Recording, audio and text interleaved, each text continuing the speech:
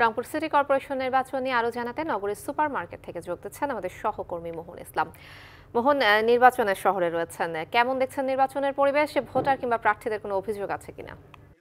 অপলা, ধন্যবাদ। অপলা, আমি আসলে একটু আগে সুপার মার্কেট থাকলেও এখন কিন্তু আমি যে রংপুর মহানগরীর যে ধাপ এলাকা, সেই জায়গায় আছে এবং আপনি দেখতে পাচ্ছেন যে একদম শেষ সময় প্রচারণার এবং শেষ সময়ে কিন্তু যে বর্তমান মেয়র এবং যে জাতীয় পার্টির যিনি মনোনীত প্রার্থী মুস্তাফিজুর রহমান, তিনি কিন্তু তার নেতাকর্মীদের নিয়ে কিন্তু আপনার জনসংযোগ করছে। এই যে, এই এলাকার একটি মসজিদে তিনি কিন্তু নামাজ পড়- পড়লেন এবং তার যে ভোটাররা রয়েছেন তো সেই ভোটারদের ধারে ধারে যাচ্ছেন এবং ভোট কিন্তু চাচ্ছেন।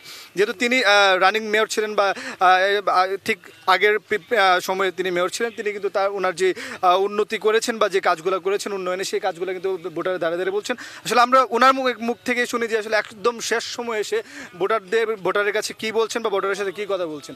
জনাব মুস্তাফিজুর রহমান একদম শেষ সময় ভোটারদের ভোটারের কাছে যাচ্ছেন, ভোটাররা কেমন আপনাকে সাড়া দিচ্ছে? যেহেতু আপনি পাঁচ বছর আগে ছিলেন তার আগে কি হিসাবে আসলে আপনাকে নিচ্ছে বর্তমানে?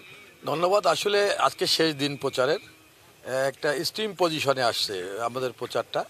তা মানুষের যে উচ্ছ্বাস, মানুষের যে সমর্থন, ভালোবাসা আমি আপ্লুত আসলে আমার বিগত যে পাঁচ বছরের যে কর্মকাণ্ড এবং সামনের দিনে তারা আমাকে তারা দেখতে চায় এই যে তাদের উচ্ছ্বাস হ্যাঁ, এরা প্রমাণ করে যে এই আগামী পরশু দিন যে সাতাশ তারিখে নির্বাচন হবে এই নির্বাচনটা আমি মনে করি যে বিপুল ভোটের ব্যবধানে লাঙ্গল প্রতীক বিজয়ী হবে এটা নিশ্চিত বলা যায়। আপনার একজন প্রতিদ্বন্দ্বী ক্ষমতাসীন দলের আওয়ামী লীগের সে অর্থে আসলে নির্বাচনে কোনো ধরনের সংখ্যা দেখছেন কিনা বা প্রপারলি নির্বাচনটা হবে বলে কি মনে করেন? না আমি বলি যে নির্বাচন কমিশন প্লাস এখানকার লোকাল অ্যাডমিনিস্ট্রেশনে যারা নির্বাচনকে অর্থবহ করার জন্য সাপোর্ট দিচ্ছে তারা মোটামুটিভাবে অ্যাডামেন্ট যে তারা গাইবান্ধার কোনো ঘটনার পুনরাবৃত্তি হতে দেবেন না।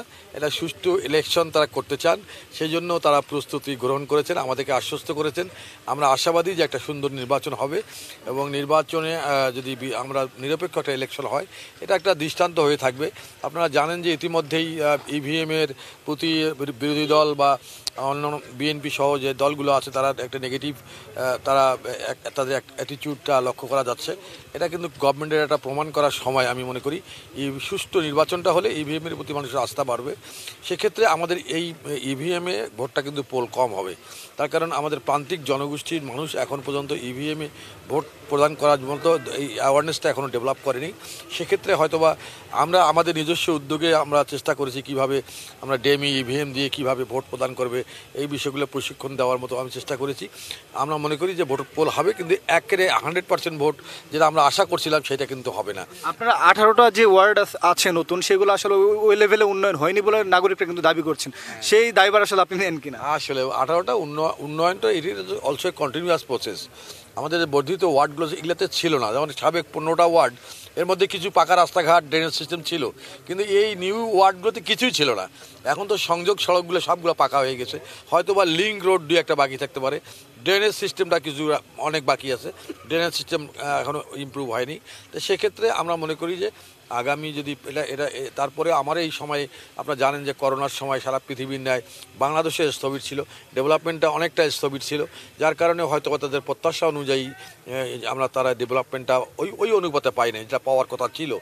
তারপরেও তারা অনেক খুশি যে আমি যে কাজগুলো করেছি এবং আমার সঙ্গে যে মানুষের সেতুবন্ধন বিশেষ করে মানুষের রিলেশন একটা মেয়রকে ভোট দেয়, মেয়রের সঙ্গে যদি মানুষ কথাই বলতে না পারে, তাহলে মেয়রের কাছে ফিডব্যাক কী চাবে? সেই জায়গায় তারা খুবই তৃপ্ত যে আমরা যখনই যে কারণেই মেয়রকে ডাকছি, তখনই কিন্তু সেই সময় মেয়র আমাদের কাছে রেসপন্স করছে। এটা কিন্তু অত্যন্ত পজিটিভ আমি মনে করি এই এই হাওয়াটা আগামী আজ থেকে শেষ। আমি মনে করি নির্বাচনে তারা লাঙ্গল প্রতীকে ভোট দেওয়ার জন্য উন্মুখ হয়ে আছে। ইনশাল্লাহ সাতাশ তারিখে একটা ভোট বিপ্লবের মাধ্যমে লাঙ্গলের বিজয় হবে। মহাজোটের শরিক একটি দলের বিরুদ্ধে আসলে নির্বাচনটা করছেন কোনো চাপ অনুভব করছেন কিনা? না না এটা তো মহাজোট বাংলাদেশ আওয়ামী লীগের সঙ্গে মহাজোট আছে সেটা ন্যাশনাল ইলেকশনে কিন্তু স্থানীয় নির- নির্বাচনে কোনো মহাজোট হয় না। আলাদা আলাদা ব্যানারে তারা নির্বাচন করছে আমরাও নির্বাচন করছি। এখানে ইন্ডিভিজুয়াল শক্তিমত্তাটা বেশি প্রমাণ প্রমাণ করার একটা সুযোগ। ধন্যবাদ আপনাকে।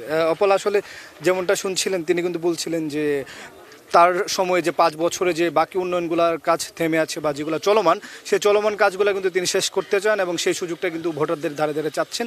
সেই সুযোগটা তাকে দেওয়া হবে বলে তিনি কিন্তু বিশ্বাস করেন। অপলা, এই ছিল রংপুর থেকে আমার কাছে সর্বশেষ।